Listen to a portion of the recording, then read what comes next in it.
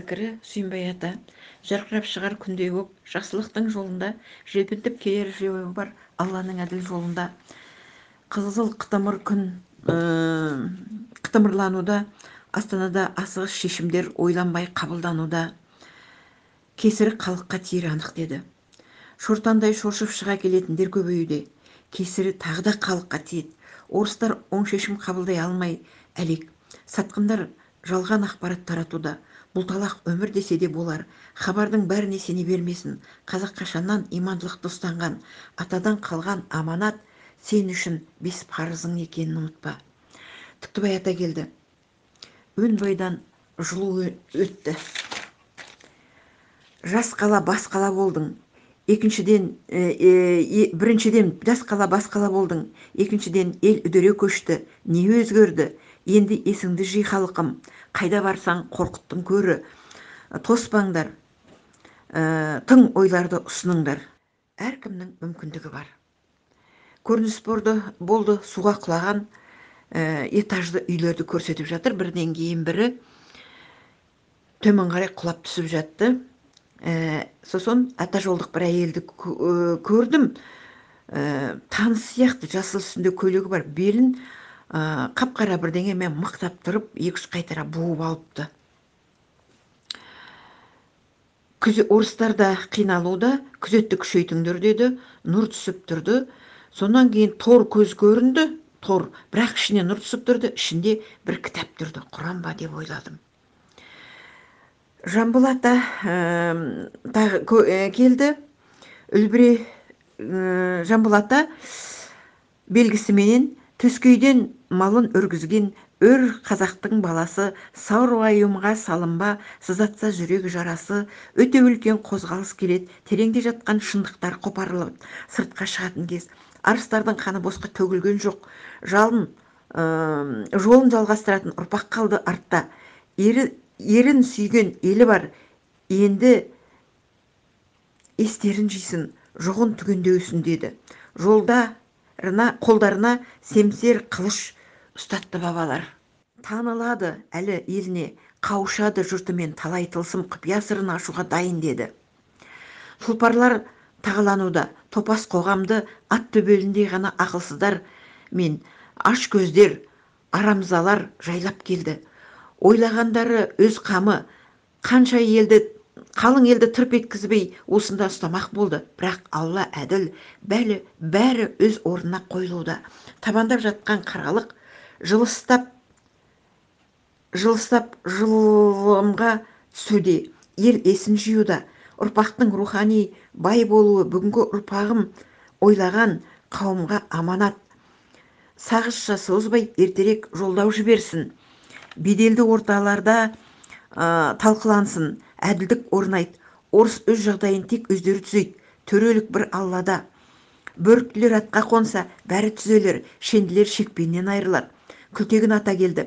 Көсіле шабар кең дала кімдерге пана болмаған?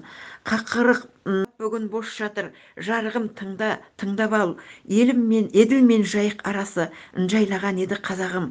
Қор қылып дұшпан қулығы шарасыз қалған бұл заман. Ел есін жиса жерін қайтарар деді. Бір кезде көрініс болды. Алашордалар түгел сапқа тұрды.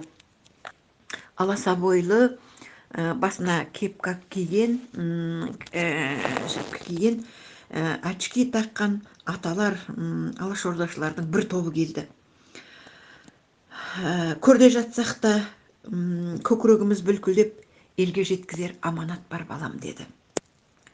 Табанға батқан шөгір бар маңдайдан атқан кегім бар кісі салып артына тыңшы жеткен түбіне тыңдаушысыз қузал жалған қорлық өтті бәріне темірден торға қаматып ә, қан жоса қылып жырлатып жеткізді бүгін ұрпаққа. Пәтуасыз жоқ жалған ай.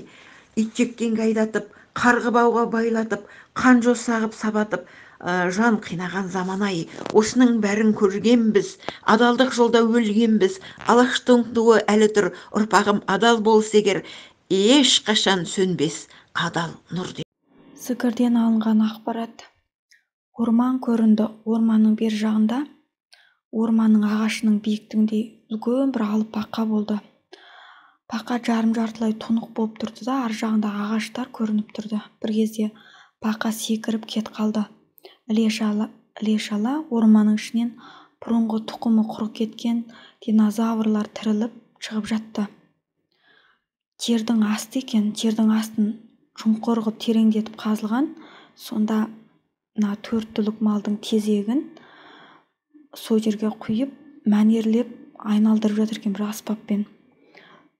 Сондай ә, кәсіпорындар ә, төрт түлік малдың тезегін мәнерлеп тыңайтқыш ретінде шығаратын кәсіпорындар ашылады екен. Көріністе бір құдықтың түбінде екенмін. Сол құдықтың түбіндегі суды жоғары, жақтағы адамдарға тасып беріп жатыр екенмін. Олар суды мен қолымнан алып жоғары қарай көтеріп жатыр екен. Бисмилля рахман рахим 15 тамыз таңғы зікірден ақпарат. Қатты селден тозып сырты құлаған үйлер көрінді. Ағып бара жатқан ағаштар мен бөренелер көрінді. Елесі көрінсе жайқалып қамыс құрақ өсіп келе жатты. Ол жермен ырғалып сусылдаған үн шығарды. Күзге қарай түрлі созылмалы аурулар қозады. Ата жолы қағидасына сай киімді қалыңдатып киюлері керек. Адамдар арасында қасиет қыспағымен көтеріліп аурушылар көбейеді. Рахим тамыздың он жетісі таңғы зікірдегі ақпараттар. Бір қоңыр аю тоғайдың жапырағын өзіне тартып жатқан көрініс болды. Одан шеңбер болып аю жоқ болып кетті.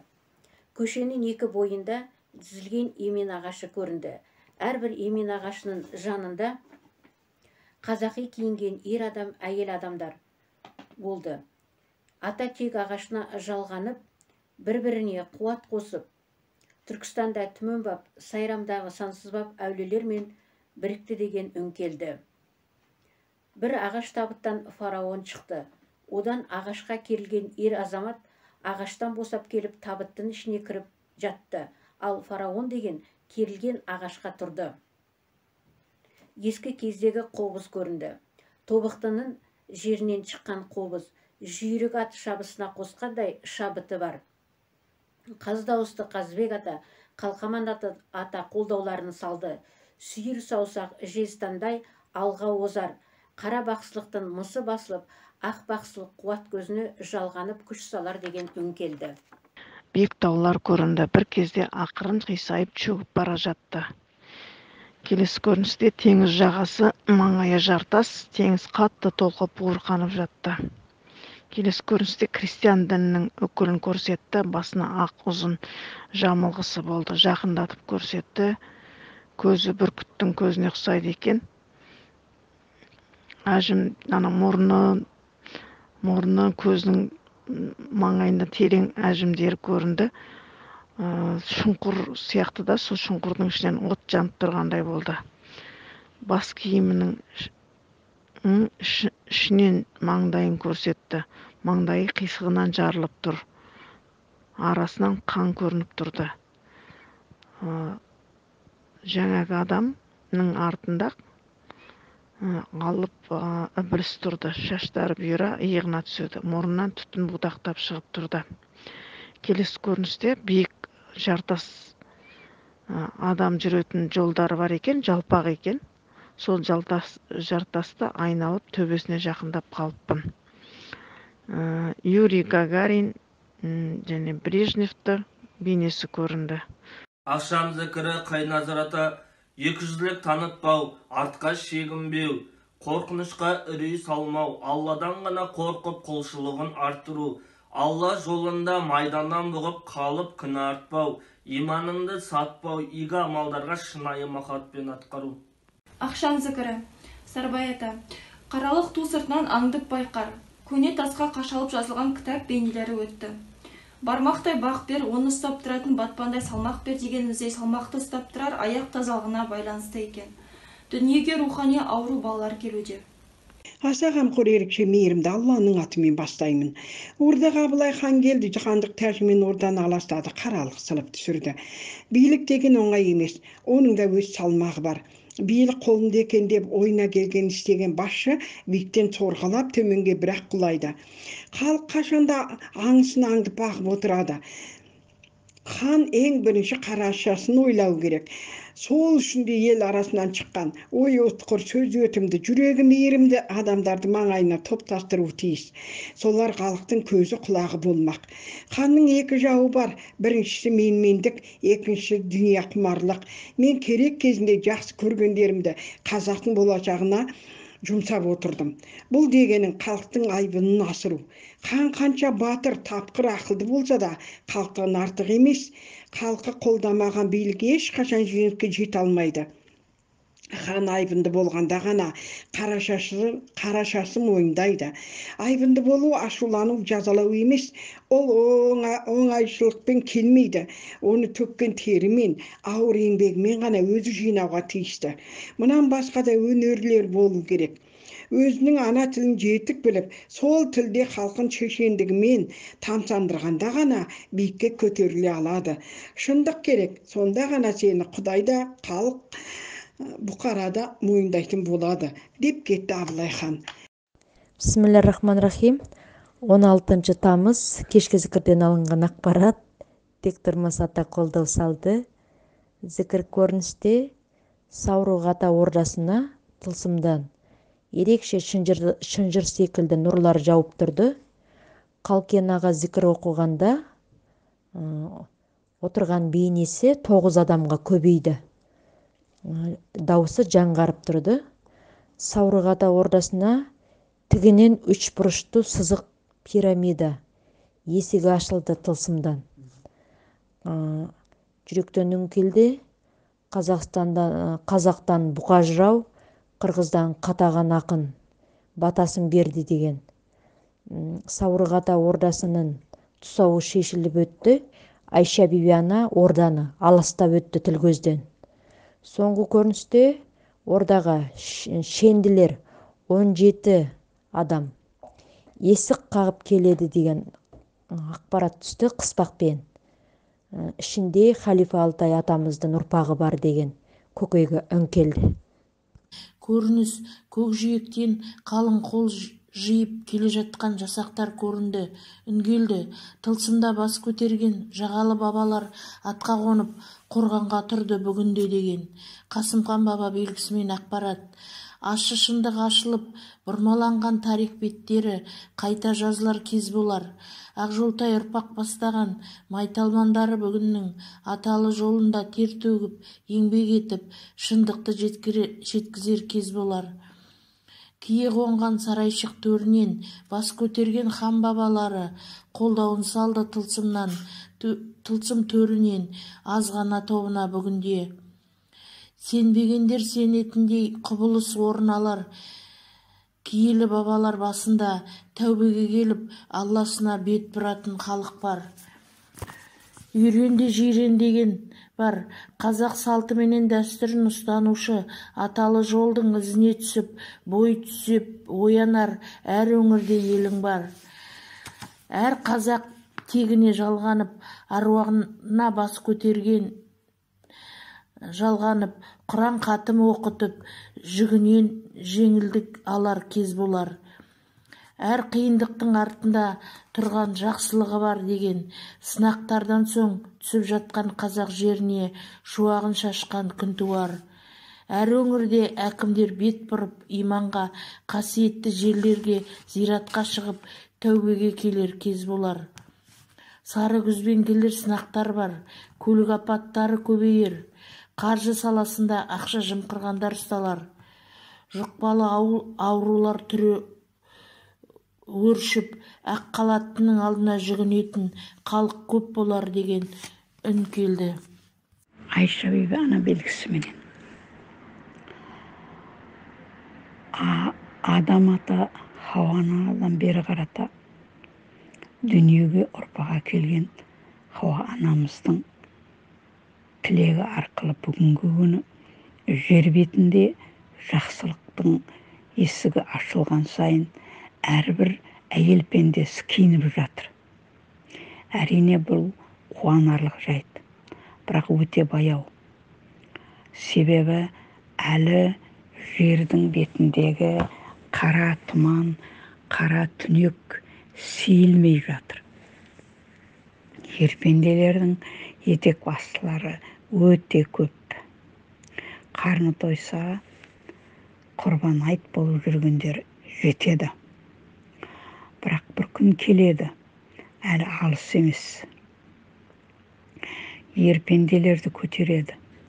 Бар жоғын ақтарады тұла бойын құрыстырады. Жерге бір лақтырып барып түргелтіп алады. Әрине төзімі жеткендер жақсылықтың есігін ашады. Дүние төңкеріліп кетсе де бір алланың қалауымен әрбір нәрсе болатындығына көз жетеді. Жақсылар дүниеге келе бастайды.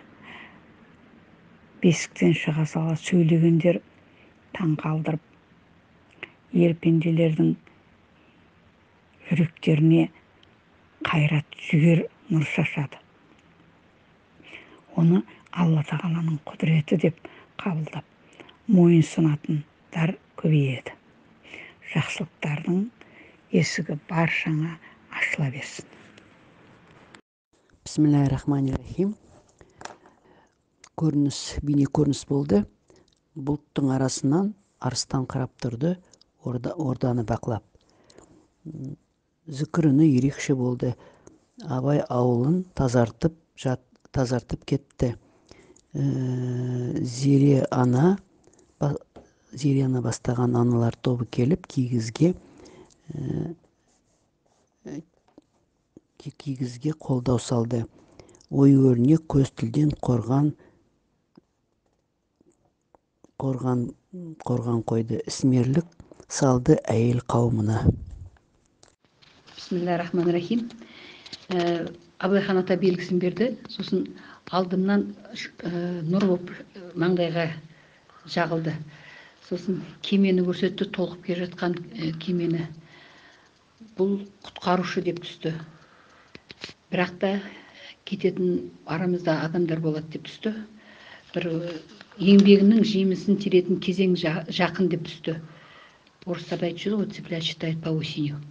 Сол еңбекпен алатын жемістер алды деп түсті. Таң зікірі түктібай надан құтырар қарасымен бар ақылын жұмсап айласымен жан тәнін сатып арамдыққа бір күндік өмір ләззатына. Ақшам зікірі. Заратуштра ғылымы табиғатпен біте қайнасып өзіңді сол табиғаттың бір бөлшегі ретінде сезіну. Көкті ғылыммен салыстырғанда ең төменгі хайуандық деңгейде де ұстану мүмкін екен. Ана жатырының талшық нейрондары мимен байланыста. Ғарышта сабыр бейнесі сызылған зат болды. Зікір ақпараттары белгісімен саралап ой саласын іңірде жатып қарап басасын шырақ қуып құран бағыштап хаққа сырыңды айтасын. Сенер сенбестік тағдырда жазмыштан озмыш жоқ. Қасиеттілер бас қосса тиянақты шаруаң бітер. Қасиетсіздер бас қосса алпауытты түндірер жалмауыздар райынан қайтпайды әлсіздерді құлатады. Алға қойған мақсат пен мүдде айнымаса алары жеңіс. Толқын келіп жағалауға қанша қала халық суға кетеді жер жұтады жұт болады адамзат сонда да ойланбайды. Құлқожа ахмет яссауи баба көпшілікке келсе қасірет қыспақ түсіп жүректен қан қысымы түрленіп ота жасаушы көбейе аллаға медет тұтпай жалған өмірді күрделендіре жалғанды жалпағынан басып жүрем деген арылмай тәубеге таянбай батқан бақтан шығу болмас. Көз жанарынан айырылатындар көбейеді алланың жақсылығын көрмеген көзден не пайда? Айша бибана серік қосып аллаға имам мен молдаға сынақ түседі. Отбасынан бастау алып өлімдер көбейеді түсініксіз құбылыстан қорқып түрлі пәтуа шығарады. Аруақты сонда да мойындамайды. Аспанда өте көп майда майда жұлдыздар болды арасында. Ерекше үлкендеу жанып тұрған жұлдыз болды. Сонда ильяс деген үн келді. Сосын маймылдар әсіресе иттер көбейеді деген түсінік келді. Сосын американдықтар әртүрлі соғыс техникасын ойлап ә, шығарып жатты. Кейін көріністе дене бітімі өте мықты ақсақал ер азамат басына әйелдің жаулығын төсеп алды сөйтіп жаулықтың екі ұшын екі қолымен көтеріп айланып жатты. Сол жаулықтың астынан піспей қалған көппенбек болып жемістер көрініп жатты. Сонда қазіргі кезде кейбір ақсақал ер азаматтар сол піспей қалған жеміс сияқты деген түсінік келді. Сосын ерекше үй көрінді оның екі терезесі мысықтың екі көзі болып көрінді. Ол үйдің қабырғасында кереге көз көрінді. Сол кереге көздің ішінде сағат болды. Ол сағат жүріп жұмыс істеп жатты. Сосын сөз өте қуатты деген үн келді. Сонда көрініс керей көз оның үшбұршек үшбұршегінде керей көздер жаңадан пайда бола бастады. Сонда керей көз сөз сияқты қуатталып жатты. Сосын трансформатор көрініс экскаватордың шөміші яғни қолы қақ ортасынан бөлініп бір біріне қарама қарсы тұрды. Сонда трапеция деген үн келді. Сосын адамның бес бармағы сол бес адам болып көрінді. Олар бір мезгілде бас қосып басқа уақыттарда өз шаруашылықтарын міндеттерін атқарар екен. Ордағы ана келді жаулығымен орданы аластады қаралық салып түсірді қазақ қазақты күндемесе жүре алмайды емес пе сол күндеуден өлген соң барып құтылдық па десем өлген соң да құтылмайды екенбіз сонда да шүкір халықтың көзі аз да болса ашылып келе жатыр жақсы мен жаманды ажыратуға талпыныс бар ұрпағың түзу жолда болса ата ана үшін бақыт деген сол қатарынан озып туса да пенде болған соң менен де менің ұрпағымнан да қателіктер кетті алла тағала екшеуіне алғанда ғана адам баласы мәңгілік өкініште қалады екен. Абай аталары мен менің атымды да жалпақ жұртқа танымал етті. Біз өз шама шарқымызға қарай құдайға жақын болдық. Діннен хабардар болып парызымызды өтедік. Сондықтан да өзінше түсініктер қалыптасты.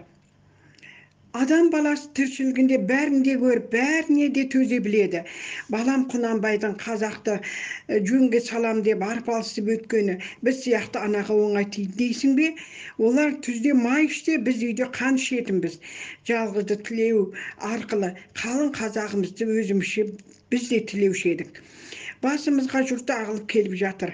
Өлгеннен кейінгі салмағымыз артты. Аруақ болып қолдап қорғаймыз. Тек етек жеңін қымтап басымызға тазалықпен келсе деп тілейміз. Қазақтың күні туып келе жатыр.